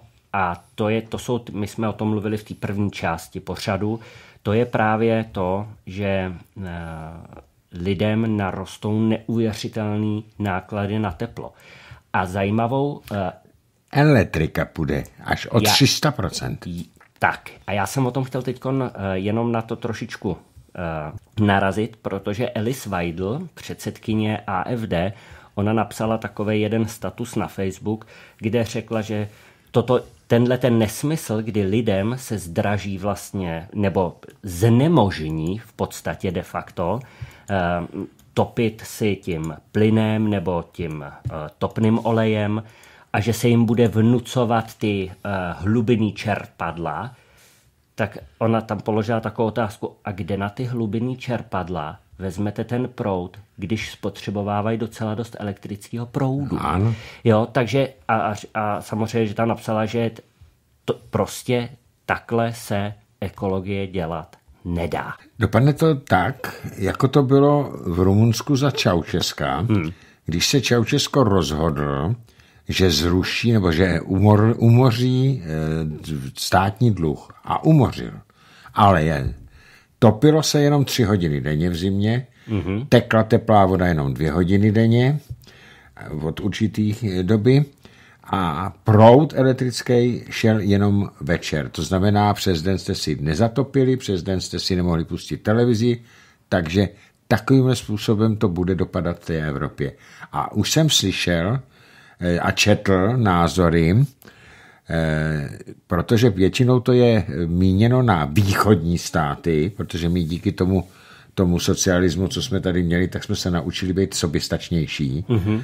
tak už začínají řvát, jak se musí zakázat topení dřevem. Jo, to mě nepřekvapuje. Protože dřevo je strašně neekologické. Ano. A strašně dlouho roste. Mm-hmm.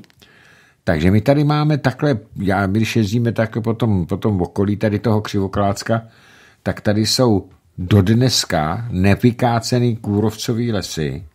Jsou tam haldy dřeva složené v těch...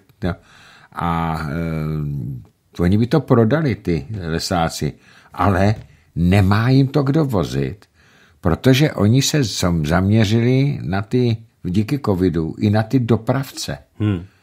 A ty dopravci se na to, já znám třeba osobně jednoho, který řekl, no já jsem se na to vykašlal. Jo. Já jsem to přestal dělat, šel jsem dělat někam do nějaký montovny. Jo, e, spousta lidí uh, přešla uh, z, růz, z, z té svojí původní branže právě díky tomu, díky té pandemii, ano, jo, ano. tak přešli do jiných oborů a řekli, ne, my se už nevrátíme tam, kde jsme byli. No. To, tohle to ale vidím do budoucna jako obrovskou krizi.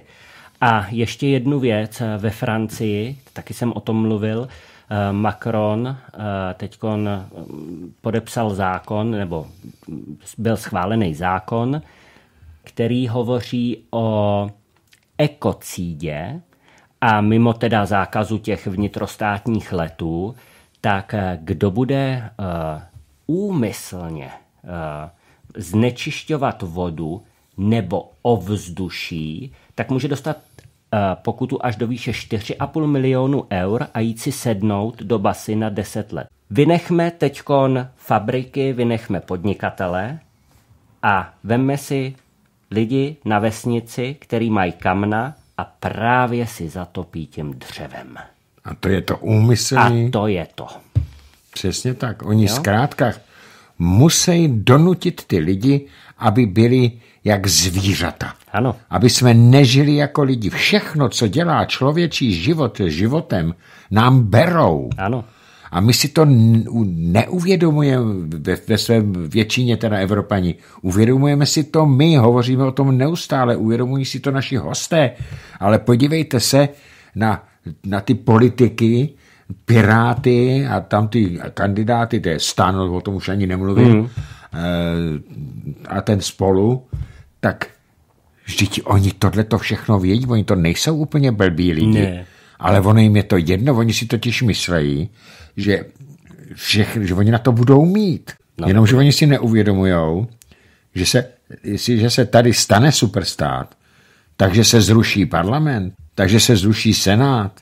No na co nám bude? Tady se ustanoví jeden gubernátor, který bude mít po ruce armádu drábů, který budou chodit a střílet a mlátit lidi a budeme jenom poslouchat, co nám z Bruselu nařídějí. Oni si vůbec neuvědomují, že dopadnou jako my a pokud se sem nahrnou ti muslimové, no tak budou na ně stejně tak jako na nás. Těm je to jedno. Zdenku, prosím tebe, já jsem si četl nějaké diskuze, jak teďka hmm. v tom Würzburgu. Zabil ano. ten Somálec ty tři lidi, hmm. jo, tři ženský.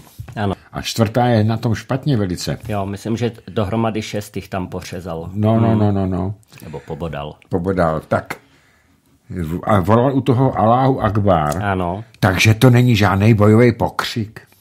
že to je, že to je, je něco jako Bůh je, Bůh je veliký.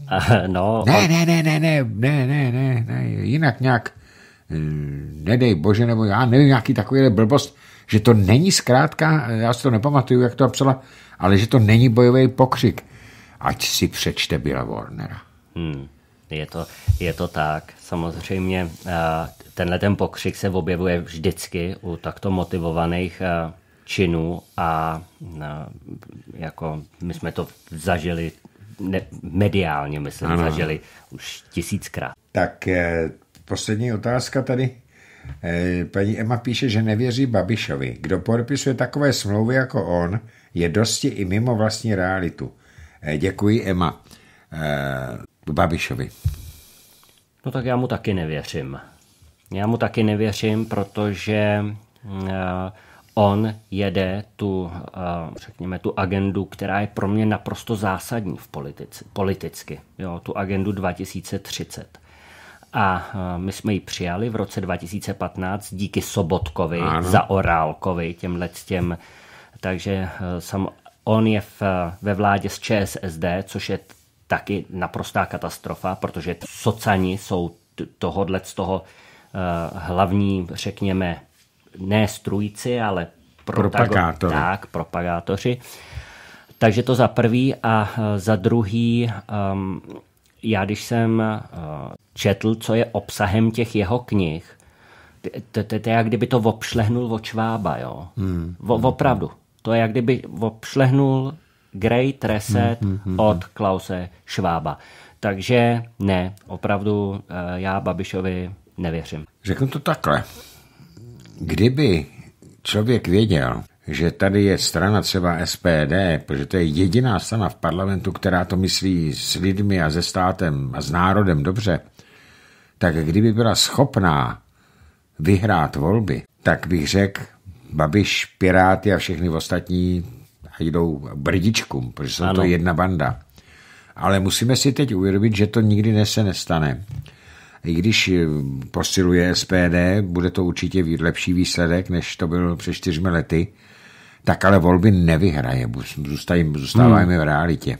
A teďka máme dvě možnosti. My, voliči, buď vyhrajou Piráti, spojí se s ods a to, co se tady bude dít, tak to bude konec. A nebo to vyhraje Babiš a ODSK spolu nebude mít s Piráty eh, a s ostatními 101. A bude se muset počítat s SPD. Nejideálnější by bylo, kdyby SPD získalo minimálně 21-20%, aby se ani jedna strana bez něj nedostala přes 101. Ano. Pak by to bylo nejideálnější. Je to moje zbožné přání. Ale Babiš je zlo, ale menší zlo, než je pirátský Bartoš a odesácký uh, Fiala, teda Petr Fiala ano. Uh, a Gazdík a podobné zrůdy ze stanu.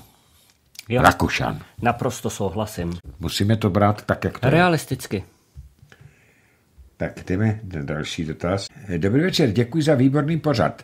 Jenom drobné upozornění. Mluvíte o Evropě, ale máte zřejmě na mysli Evropskou unii. Ruská federace se to tak, se to tak úplně netýká, i když je také v Evropě. Eh, přeji pěkný večer, paní Dagmar.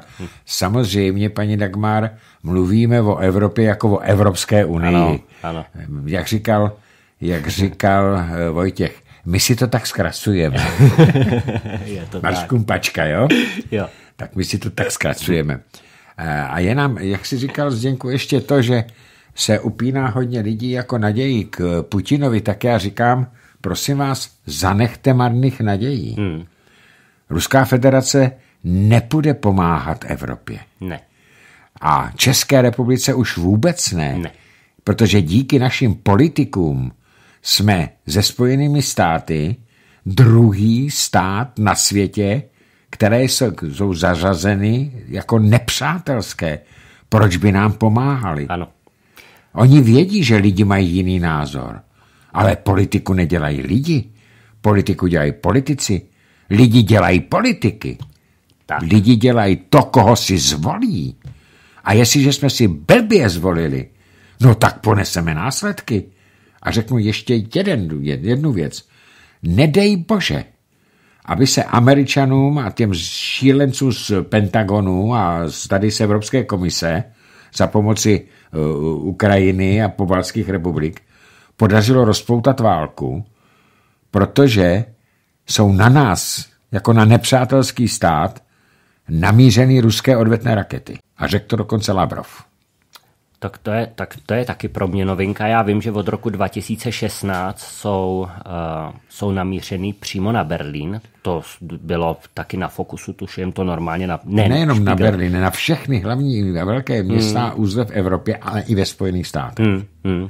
Takže jako tohle samozřejmě není, není to jako jednoduchý, jo?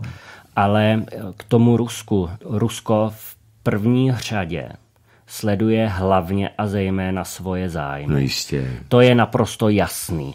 A oni opravdu, jak si říkal, oni kvůli malý České republice, která je pro ně v podstatě bezvýznamná. A nepřátelská. A teď i už nepřátelská, eh, rozhodně si moc velkou hlavu lámat nebudou.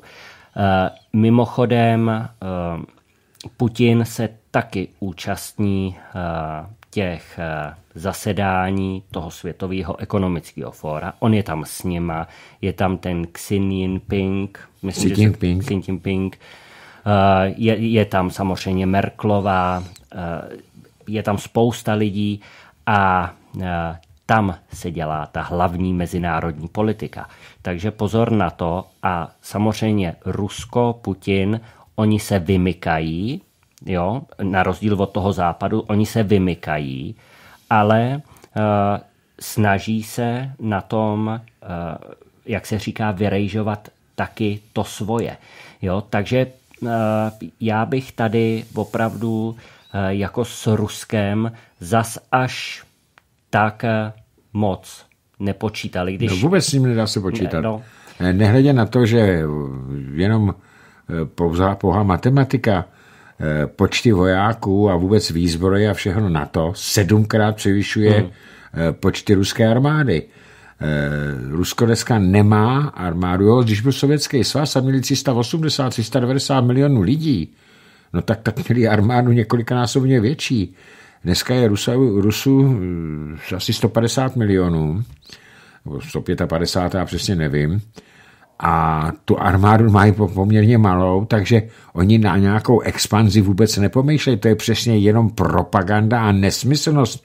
A to, co si říkal Zdenku, tak je to správný, protože v rámci tohohle toho G20 hmm. Eh, se setkal Putin s eh, Bidenem, hmm. já jsem chtěl říct Bidetem, Bidenem a ta hrozící horká válka, která hmm. tehdy byla už za dvě vteřiny dvanáct, jo. tak se naštěstí, naštěstí se tam domluvili, že ještě do té války nepůjdou. Mm-hmm.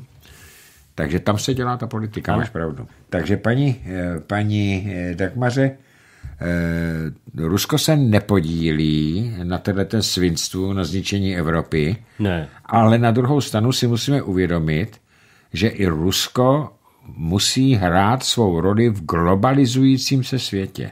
A tu hraje. A tu ano. hraje, protože tady máme dva velké globalistické společenství.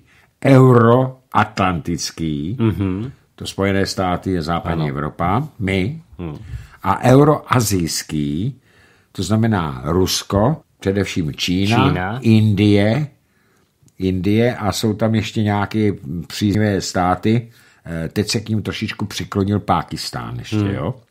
Takže tyto dva, tyto dva uh, spolky spolu teď soutěží v podstatě o nadvládu nad světem. Hmm. A především eh, to je hlavní protagonista je Čína, Naprosto. která už pomalu přebírá ve všech oborech, prosím pěkně, Eh, nadvládu nad Spojenými státy. Hmm. Je to největší věřitel Spojených států. Ano. Kdyby Čína přestala jeden týden posílat do Ameriky peníze, tak se americká ekonomika zhroutí. Mm-hmm. Píšou ekonomové. Ano. Takže e, abychom si mysleli, že nás Putin Báťuška přijde jako svatý Jiří, ne, ne, ne. Ona nás totiž kašle. Bohužel je to tak. Ale můžeme si za to sami. Tak to samozřejmě. Jdeme dál. Dobrý večer. Ví pan Chytra něco o zákonu, který se snaží v Německu prosadit, a to zákon o takzvaném vyrovnávání špiček v energetice, kde mimo jiné by mělo být, že bude možné dálkově odpojení nabíjení elektromobilů, protože si už uvědomují, že infrastruktura a zdroje na protlačovanou elektromobilitu je a v příštích letech bude naprosto nedostatečná a nevyhovující. Díky Jirka Spardovic. Někde jsem o tom četl v mainstreamu a skutečně se tohle to plánuje. Oni totiž to ty uh, nabíjecí boxy uh, se mají nebo existují a budou se, je v plánu, že se budou uh, vlastně montovat na zeď domů. Jo? A samozřejmě, pokud by, pokud by došlo například k přetížení nebo k, vysokému odběru nebo k čemukoliv, tak oni to potom na dálku, na dálku budou vypínat. Oni i na Světovém ekonomickém fóru psali článek o tomhle tom, že v podstatě uh, oni uh, budou chtít takhle centra, centralizovat i ten, abych to řekl správně, i ten odběr těch energií, že to ale digitálně centralizovat, jo. Eh, právě, aby mohli ty výkyvy a eh, tyhle ty propady korigovat. Tak to už existuje teď. Tak jasně, ale... Jo, tyhle mm-hmm. ten výkyv, protože vím si, že na jaře jsme byli dvě vteřiny od evropského blackoutu. Na to si pamatuju, ano. Díky zásluhou českých energetiků ano. A Rakušanů ano protože v té době bylo hodně vody, takže oni tam měli hodně hmm. energie, jinak kdyby bylo sucho eh, v létě, no tak by tak nemohli zareagovat rychle. Hmm. A my, že jsme okamžitě zapojili eh, další, další elektrárnu, tak jsme, já jsem četl a byl to tady ten odborník energetický, pan Beran, ten mi říkal, že jsme byli dvě vteřiny od evropského blackoutu. Mm-hmm. Ale co se týče tohohle toho, pana Jirko, Víte, ono to nebude potřeba. My tady si říkáme, teď tady ty dráty to neunesou, elektrika nám z, z, budou snižovat. Uvědomte si, že bude záměrně poroste cena elektromobilů až na 2-3 miliony korun, možná i víc, aby si je mohlo koupit jenom pár nejbohatších špiček a veřejnost. A už jsem to dneska četl, představ si, že jsem četl článek, takový futuristický článek, že lidi nebudou mít samozřejmě peníze, jako mají teďka na ty no. spalovací mm-hmm. auta, tak nebudou mít na elektromobily, protože se to bude záměrně zdražovat. Tak aby si počítali s tím, že si budou kupovat elektrokola. No, to je hezká vyhlídka. A to jsem čet. Jo, ne, jako já tomu tomu věřím, protože... Takže tady nebude problém s nabíjení těch aut. Tady bude jiný problém. Tady bude, vážení přátelé, problém, jak se dostat do práce. Tak to mají vymyšlený, že jo? To oni už tvrdí dneska městskou hromadnou dopravou, pozor, sdílenými automobily, sdílenými. Ale ty je... přestanou. Jinak, ne, já si nemyslím. V roce 35 přestanou sdílené automobily spalovací. Tak to jo. A elektromobily ty budou mít ty bohatí a ty se na ty chudí, chudí vyprdnou. Ale pozor, v Berlíně je, je několik firm, který už tyhle ty sdílené auta mají. Jedná se, já doufám, že to neplatí jako reklama, ale já to řeknu, eh, jedná se o Volkswagen Golf. A ty, ty jsou to různé firmy a jedna ta firma má benzínový, a ta druhá firma má plně elektrický. A nebudu mluvit o tom, v jakém stavu ty auta jsou, jo, když je každou chvíli má někdo jiný, to, to, jako to je strašné. No jistě, že jo. To je jasný, ale, ale ty elektroauta a stejně jich nebude tolik. A to právě kvůli tomu, zase kvůli ty elektrice. No. Jo? Takže to, a to sdílení, to, to vyletí taky nahoru ty ceny. Teď, když člověk jede, já nevím, 20 kilometrů, tak zaplatí třeba 8 euro za to sdílení, ale až skončí benzínový a dýzlový motory, tak, tak to bude třeba za 20, za 30. Jo, takže, jestli ne za víc. A jestli ne za víc. A ještě jednu důležitou věc. Oni ty bateriové auta uh, jsou pěkně drahý už dneska. V podstatě ty ceny, o kterých ty mluvíš, ale dají se koupit o něco levnějc, alespoň v Německu to tak je. A to jenom díky tomu, že stát, stát to dotuje. Až to dotovat přestane, a to jakože přestane, tak teprve potom se projeví na těch cen, ty, ty reální ceny a to teprve potom lidi procitnou. Ale to už nebudou mít ty benzínové Nebudou, a ano. Takže ono, eh, starost, starost mít o to, eh, jestli budou vypínat na dálku na dálku nabíjecí stanice, no samozřejmě, než to úplně zrealizujou, než ty lidi ukovají doma, mm. že si budou muset kupovat ty elektrokola nebo vosly, ale vosly nám zakážou, protože prděj. No tak velbloudy. No ty taky prděj. Všechny, každý bíložravec prdí. Jo. jo. Takže, protože musí toho hodně sežrat, no, že jo? No, tak. A daleko víc než masožravci.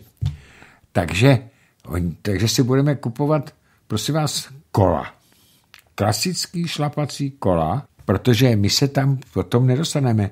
A jestliže se někdo myslí, že by se, z, když by zrušili automobilismus, že by se znova obnovili tak, jak to bylo v minulém režimu, autobusové linky, které vedly několikrát denně do každé zapadlé vesničky, tak ani náhodou. No pozor, pozor, já teďkon samozřejmě běhá v německém televizi, hlavně veřejnoprávních, oni jich tam mají několik v tom konzorciu, jo.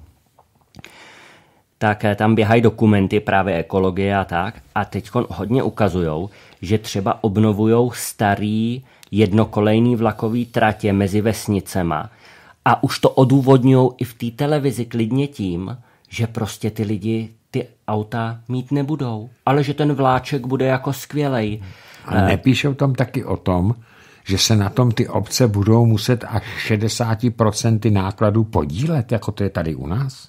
Ne, oni tam, o, oni tam uh, napsa, nebo řekli, že třeba tahle ta, o který se bavím, no. já, já nevím, kde to bylo, v Hesenu nebo kde, jo, jednokolejová tra, tak oni řekli, ne, to si tady uh, na to se složily ty vesnice, ty obce, kterýma to projíždí, plus to zaštiťuje nějaký uh, spolek, jo, dobrovolníků a samozřejmě, že lidi, co posílají dary.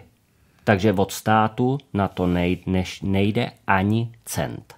Jistě, ale platí to ty obce. Ale platí to ty obce, no jistě. Až ty obce, protože nebudou mít lidi peníze, hmm a obce nebudou mít peníze z daní, obce neumějí vydělat peníze jinak než z lidí, no tak samozřejmě. Tak to nebudou moc platit. Hmm. Už dneska tady mi volal včera jeden řidič eh, MHD, že a bavil se se o tom s eh, primátorem hm, Kladna, eh, že eh, dopravci autobusoví chtějí šílený peníze na obcích mm-hmm. a pokud je nedostanou, takže ty autobusy tam zkrátka v těch vesnickách nebudou stavět. Projedou. Pojedou. Hmm. Autobusová linka, teď si vymyslím, Kladno Únošť. Valdek je prdílka, ne, Braškov, eh, nepřispěje, nebudu mít na to peníze, no tak tady sice jsou vybudované na každé straně zastávky, ale ten autobus tady nezastaví. Takže tyhle, ty, tyhle ty jednokolejky jsou dobrá věc, ale musí to platit obce.